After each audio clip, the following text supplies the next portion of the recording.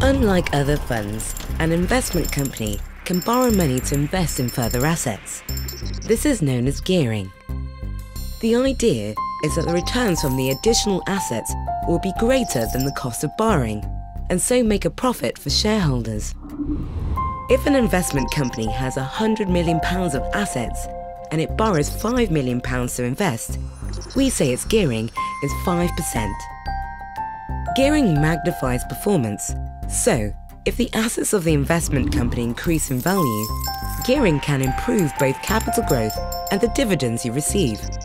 But if the investment company's assets fall, gearing will increase losses. The higher the level of gearing, the higher the risks.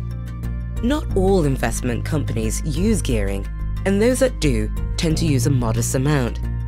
You can find out more about the benefits and risks of gearing and information on which investment companies use gearing and how much on the AIC website.